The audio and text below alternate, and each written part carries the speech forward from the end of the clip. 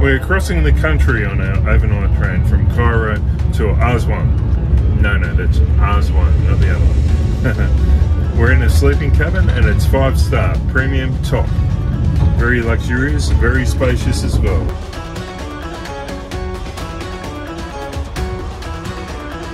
This is Philae Temple, dedicated to the god Horus and the goddess Isis. It was moved here in around the 1960s from the island there behind me.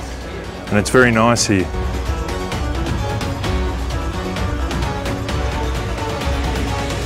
This is Abu Simbel Temple, built about 3,500 years ago for Ramses II.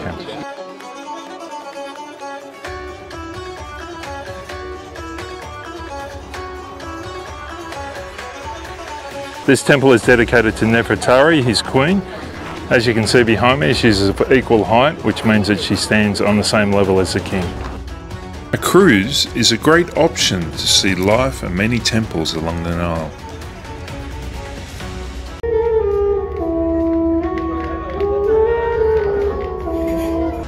Kom Ombo is unique because it's a double temple, dedicated to Sobek, the crocodile god, and Horus, the falcon-headed god.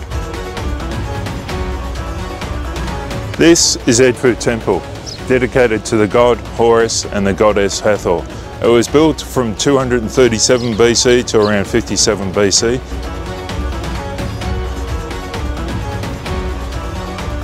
Luxor Temple was the largest and most important religious centre in ancient Egypt. Built over hundreds of years by Amenhotep III, Ramses II, Tutankhamun and other pharaohs. We're entering the Valley of the Kings where most Egyptian pharaohs were buried. This is the tomb of King Ramses IV. His reign was around six and a half years. These are some of the hieroglyphs, all in very good condition.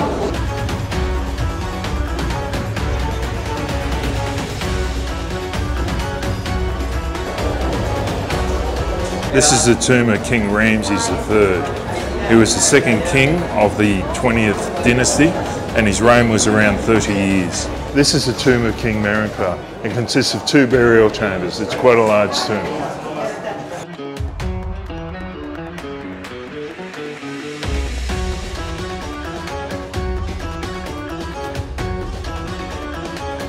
This is a mortuary temple of Queen Hatshepsut. She made a deal with Amun-Ra so that she could assume the throne. She wore men's clothing and a beard to make herself stronger and appear that of a man.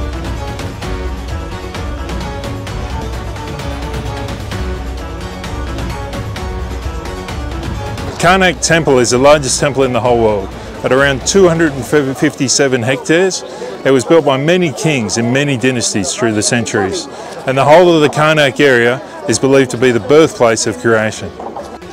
There's 134 of these in the whole of Karnak Temple.